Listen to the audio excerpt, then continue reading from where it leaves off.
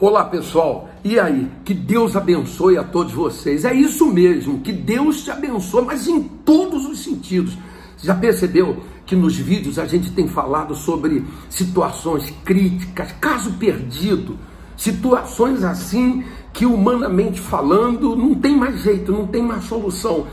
E eu tô aqui pensando, me veio agora, o Espírito Santo coloca no meu coração sobre Jairo.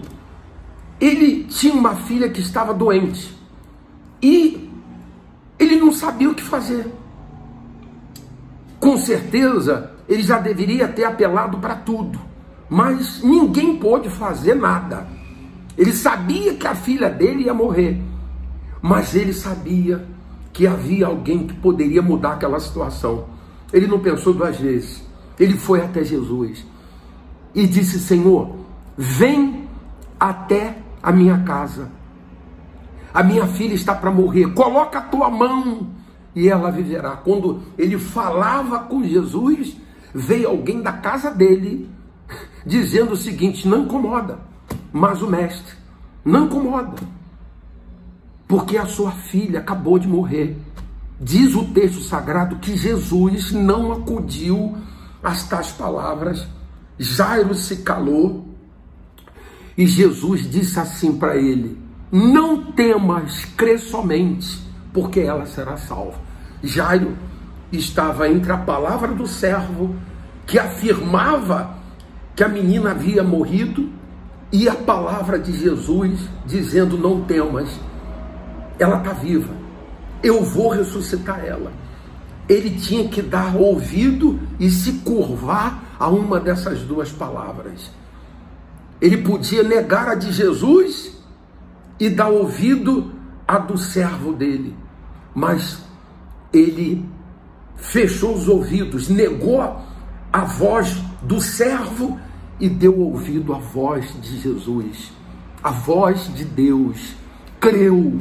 Jesus chegou em casa, pediu para que saíssem alguns incrédulos e Jesus foi, pegou a filha dele e disse: Menina, levanta. E a menina que estava morta se levantou e Jesus entregou a menina viva nos braços do Pai. Tá vendo? Tá vendo só o que o que a fé faz? Quando a gente crê, aquilo que parece perdido, Deus restitui. É verdade. Deus traz à existência aquilo que não existe mais, aquilo que todo mundo diz já era. Deus faz isso. Por isso eu quero dizer para a senhora que me assiste, para o senhor que me assiste, para você que me, me ouve agora, que eu sei que está com problema. Eu sei que tem alguém chegando, trazendo notícia ruim, notícia desagradável, notícia dizendo já era, mas eu estou aqui para dizer o seguinte: não temas, crê somente, porque o que parece estar perdido Deus vai restituir. É só você crer no que Jesus falou. Você crê, então não temas. Vamos orar. Espírito Santo, em nome de Jesus, nós estamos na tua presença e há pessoas que não sabem o que fazer, desesperadas, caso perdido. Meu Deus, há pessoas que dependem de um milagre urgente, já não aguenta mais, a dor é imensa, não tem mais lágrimas que saia, meu Deus, desse corpo. Tudo que tinha que ser feito já foi feito. Agora, meu Pai, nós apelamos para a tua mão.